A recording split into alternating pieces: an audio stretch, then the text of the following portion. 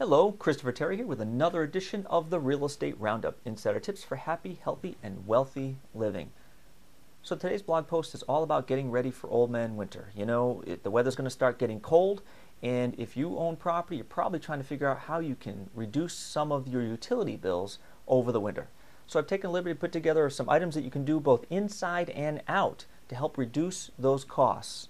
So if you're watching this on our blog, please scroll down and you'll see the tips below.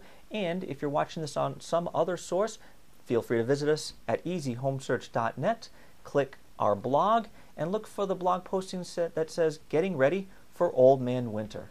So thanks, thanks again for being here. And naturally, if you're looking for a competent, caring, and professional real estate brokerage office, think the Realtor with two first names. Think Chris Terry and Easy Home Search Real Estate. I'll see you next time.